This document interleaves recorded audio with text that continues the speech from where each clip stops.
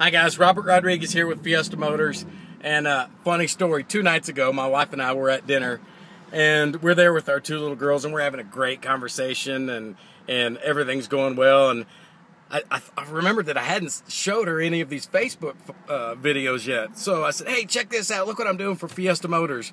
And so she pulls it up, and she's she's watching it, and uh, so she starts giggling a little bit, and then and then the giggle turns into laughter, and then, you know, once she finished watching the video, she stopped and, and I could tell she was a little bit embarrassed and a little bit embarrassed about what her friends might see, might, might think if they saw it.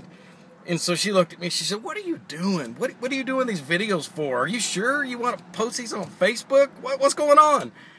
And I was like, "I don't know, man. I thought it'd be cool to do with you know something cool for Fiesta Motors." And uh, she goes, "Well, what, what's Fiesta Motors going to get out of it?" And so I I thought, I don't know, it, you know, give me back my phone. So I got my phone and turned it off, and that was the end of the conversation.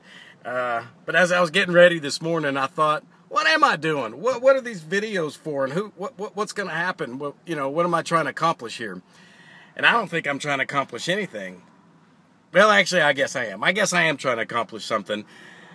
I want to let people know about the behind the scenes of Fiesta Motors and who's running the show and what that person believes and, and something a little bit about their integrity, uh, their morals, their values, how they view service and a service oriented company. And so uh, that's my agenda. I don't have any political agenda, I don't have any religious agenda, anything like that. You know, I want people to see uh, the behind the scenes of Fiesta Motors and who's running it. And so if you can see me as a real person and somebody with integrity and morals and values and would like to buy a car from someone like me, great. That's then I've done my job. That's what I want. Uh, and if uh, if I make myself myself look silly in the meantime, hey, that's okay. That's okay. But uh, Fiesta Motors is a is a family oriented company.